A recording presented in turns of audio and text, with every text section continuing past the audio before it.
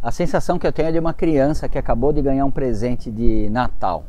Tá? Apesar de eu não ter ganhado, eu ter comprado a SNX, é uma, é uma sensação muito legal. A gente tem um monte de veículo muito mais legal, muito mais sofisticado do que, do que essa motinho, mas é, vamos dizer, o, o, os primeiros contatos com, seja um, um, carro novo, uma moto nova, nova que eu digo é da sua propriedade, é maravilhoso. Você vai explorando, você vai descobrindo as qualidades, os defeitos e é uma coisa muito legal. Um cara de 50 anos pode voltar até aquela sensação que você acha que não vai voltar mais de ser uma criança. Com um carro novo que você compra para se incomodar, com uma moto, e no meu caso agora é uma moto. Tá? Os vídeos que eu pretendo gravar da, com ela em particular provavelmente vão ser um pouco diferentes do, dos que a gente grava relacionado a carros, vai ser mais uma experiência pessoal minha em relação às manutenções básicas que eu, que eu pretendo fazer nela, tá? E eu acho que como todo mundo que compra um brinquedo novo, qual que é a principal preocupação? A troca de óleo, tá? Então, o que eu, a primeira coisa que eu pretendo fazer nela é, é uma troca de óleo básica. O problema é que eu não sei como trocar o óleo, eu não sei quanto que vai de óleo aqui, qual que seria o óleo recomendado. Por quê? Porque a moto veio, apesar dela estar em perfeito estado, eu não tenho manual. E agora, Bianca, o que, que a gente pode fazer? Procurar no site. Procurar no site da Honda? Será que eles têm todos os manuais? Vamos dar uma olhadinha?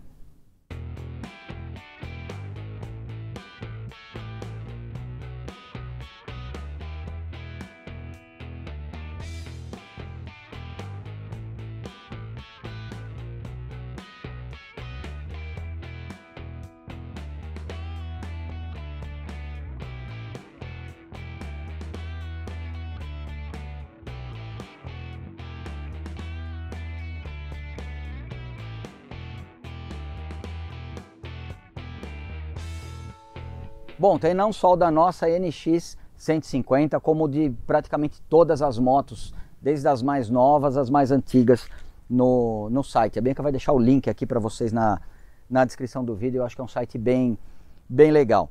Tá, então a partir do manual que eu fiquei, a Bianca que achou o manual para mim, na verdade, eu fiquei fuçando no manual essa semana que se passou para ver o que, que eu ia conseguir fazer, o que, que eu não conseguiria fazer.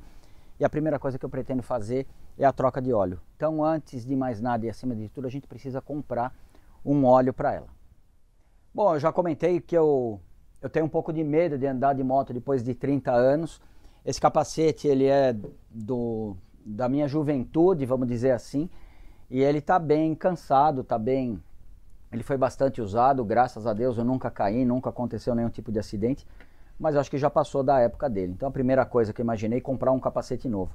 Hoje com a internet, ao contrário dessa época, é muito, você tem tantas ofertas que você acaba se perdendo. E o que eu acabei comentando com a Bianca, Bianca, já que a motinha é uma Honda, vamos tentar comprar um capacete da Honda. E aqui perto, felizmente, tem uma concessionária Constar. Eu acabei indo lá. Eu vou falar preço dessa vez, porque sempre existe aquele mito de que as peças da, da Honda em particular elas são caras. Eu acredito que isso daí é mais uma lenda do, que não corresponde à realidade. Obviamente, se você precisar comprar uma peça específica para uma moto mais sofisticada, com certeza você vai pagar o preço proporcional ao valor da peça e ao valor da moto, tá? Esse capacete aqui é o mais simples de todos da Honda, não sei o nome dele, mas eu já comprei esse daqui na medida do meu globo. É, é 58, né? Deixa eu ver. Eu sou, não, 60. Olha como eu sou cabeçudo, ele é um 60, tá? Eu paguei 200 reais nesse capacete. Considerando que talvez a minha sobrevivência dependa dessa peça, isso daí não é absolutamente nada.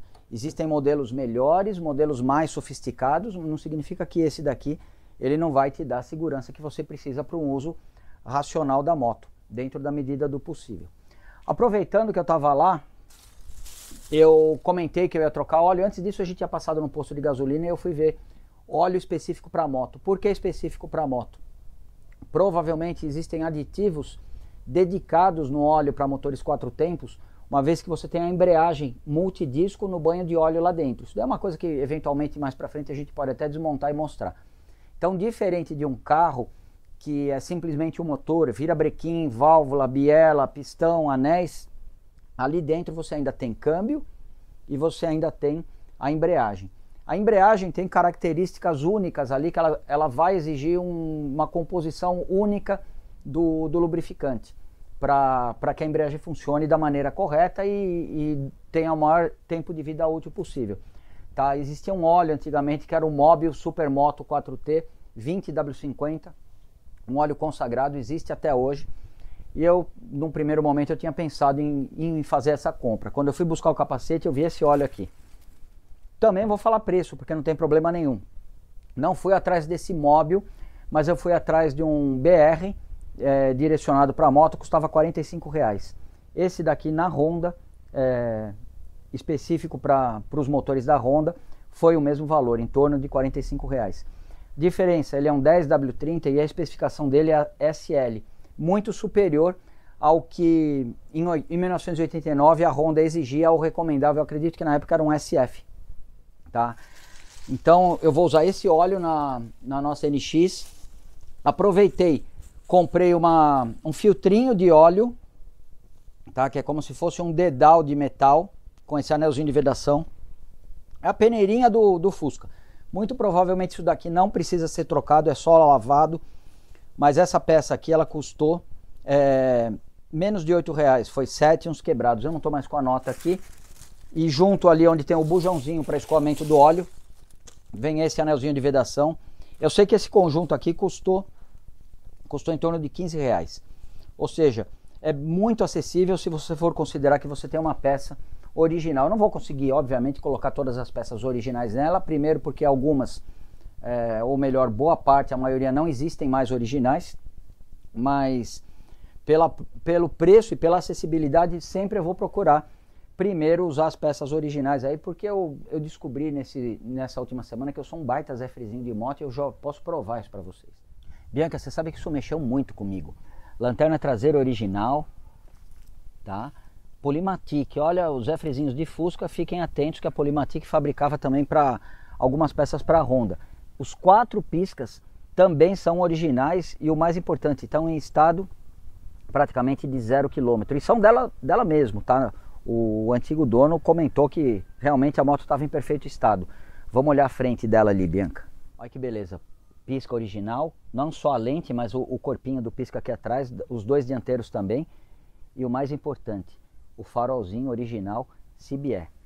Tá? Então, eu gostei tanto da motinho e eu, eu prometi para mim mesmo que da moto eu vou ser um baita de um, de um Zé Frizinho.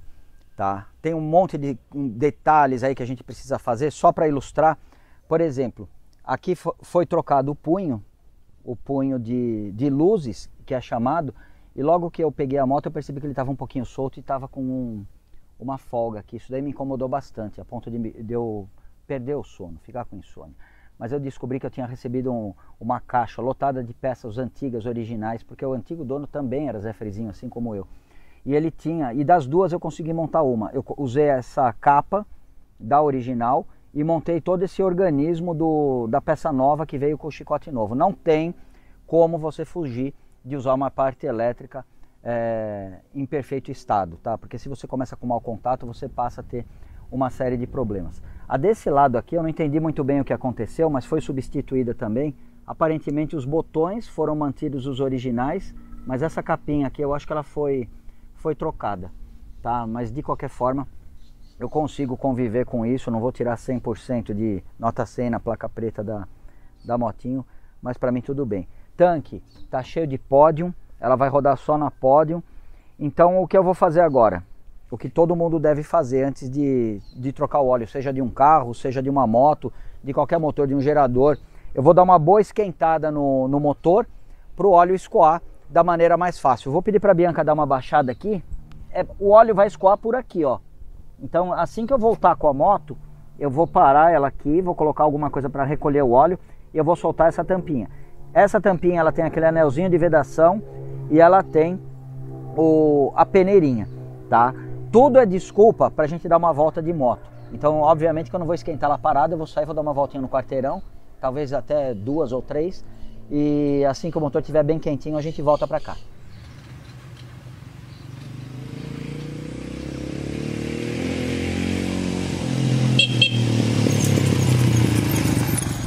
Bom, o motor está quente. Eu coloquei um, um pequeno reservatório aqui. Chave 24. Solta o, o bujãozinho do cárter. Como ele está do lado do, do cavalete, a moto já fica naturalmente na melhor posição possível para o escoamento total do óleo.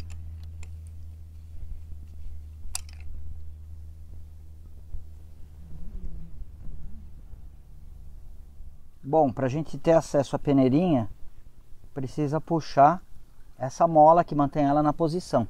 E olha que incrível quanta porcaria tem ali dentro. Tá? Parece que não é nem não é nada, parece não, não é nada metálico. Parece que é o resto de alguma junta ou alguma coisa nesse sentido que acabou contaminando contaminando o óleo essa peneirinha ela pode ser lavada, tá? E você pode guardar ela para uma próxima utilização, mas pelo próprio formato dela, eu tô achando que ela não é nem original. Tô Zé Frizinho demais, né? Muito Zé Frizinho. Pelo próprio formato, eu tô achando que ela não é original. A gente vai deixar acabar de escoar o óleo e eu vou, já confirmo isso para vocês. Bom, anelzinho velho, aparentemente está em bom estado, não está trincado nem nada. Poderia ser utilizado sem problema nenhum. Mas já que eu tenho um anelzinho novo, a gente vai colocar ele. Tá? Aparentemente, aparentemente a mesma coisa. A peneirinha, por outro lado,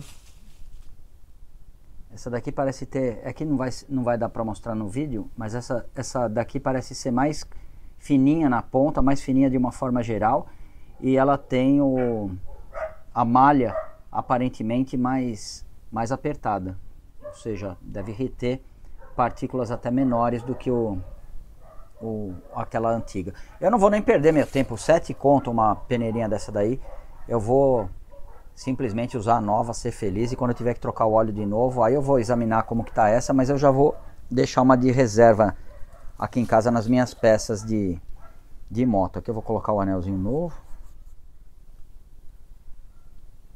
e pronto. Isso daqui a gente já pode montar lá sem excesso de aperto. Ele soltou muito tranquilamente. Quem vai dar a vedação, quem vai garantir a vedação é esse anel. Se você resolver dar uma de louco e ficar apertando, apertando, o anel vai ficar esmagado. Essa parte vai encostar no, no metal da carcaça do motor e você vai ter o vazamento. Então basta você dar uma encostadinha leve ali que já vai garantir a vedação. A mola está limpa. O, a peneirinha vai vir dessa forma aqui e eu posso montar todo esse conjunto lá.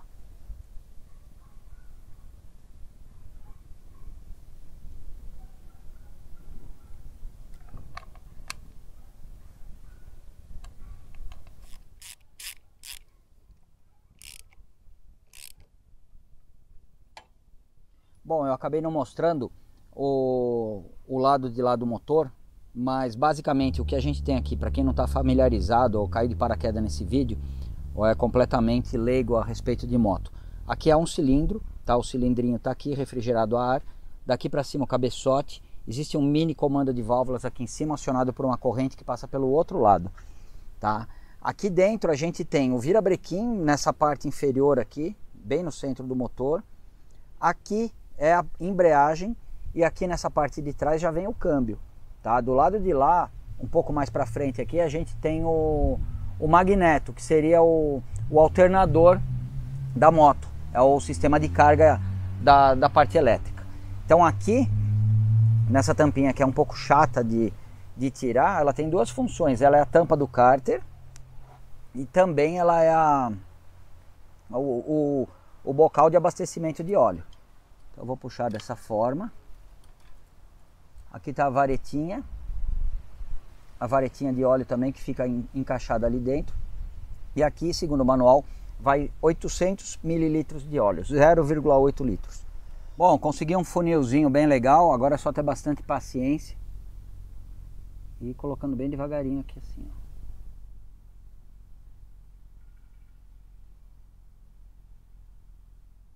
Prontinho, 800 ml adicionados no cárter, guarda reserva 200 Agora é só colocar a moto na, na vertical, tá? Porque ela está apoiada no cavalete lateral. Essa não tem um cavalete central, mas se tiver fica bem mais fácil.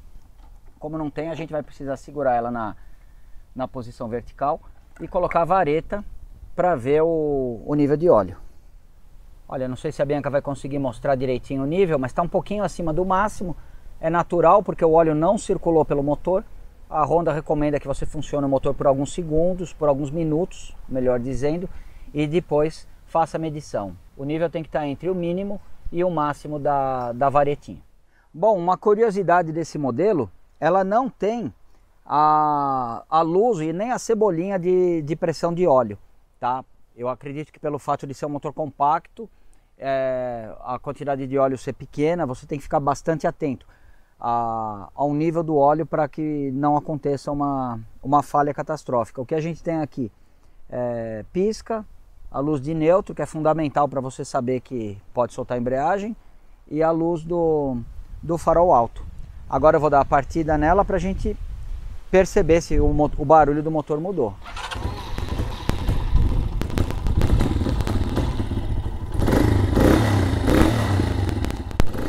Bom, missão cumprida. Agora eu vou poder dar algumas voltas aí, pelo menos com a certeza de que o óleo novo foi trocado e o mais importante, o óleo recomendado pela, pelo fabricante, pela Honda, tá? O, não tem, a gente não tem o, o, costume, ou melhor, não tem aonde marcar a quilometragem, a quilometragem que a Honda recomenda também para cada modelo de moto, tá? Em cada um dos manuais, que você consegue verificar no, no link que a Bianca vai deixar aqui na, na descrição do vídeo. Eu queria falar para vocês que agora eu vou curtir a motinho, mas na verdade eu vou dar uma volta só para ver como é que ficou. Toda desculpa para andar nela. E na sequência a gente tem uma série de outras manutenções para fazer. Não sei se vai ser nessa sequência, mas a primeira delas, o carburador. Eu acredito que não está bem regulada a mistura, ele não, a moto não para ligada. É, e a gente precisa usar muito afogador para manter ela em funcionamento, a menos que o motor esteja muito quente. Essa é a primeira observação que eu tenho para fazer. Não é, com certeza, o carburador original, é, uma, é um carburador alternativo, mas mesmo assim ele está ele tá cumprindo bem a função dele. O que não está cumprindo a função de jeito nenhum é o chicote original da moto, que já fez hora extra, já, já cumpriu a missão dele aqui na Terra. Mas eu tenho boas notícias para vocês. Eu comprei um chicote novinho, tá? Infelizmente não é original da, da Honda, é uma fabricação é, moderna e a gente vai conseguir mostrar todos os detalhes aí da troca do chicote para quem tiver interessado ou para quem pretender fazer o mesmo serviço em, em casa do jeito que eu pretendo fazer. E como vocês já conhecem o, o nosso o nosso estilo, a gente vai tentar identificar fio a fio ali como diagnosticar defeitos e assim por diante. Certo, Max? É isso aí, né? Você tem medo da moto ainda? Tá bom, eu vou tomar cuidado com você. Muito obrigado por verem os nossos vídeos e até semana que vem a gente vai voltar, muito provavelmente desmontando é, carenagem, desmontando banco, desmontando tanque, para ter acesso não somente ao chicote, mas ao, ao carburador. Tá? E tudo que a gente for fazendo a gente vai mostrar é, sem nenhuma pretensão de de estar tá com a razão, alguma coisa assim, mas simplesmente com a intenção de compartilhar a nossa experiência. Tá bom? Muito obrigado por ver os nossos vídeos. Até semana que vem.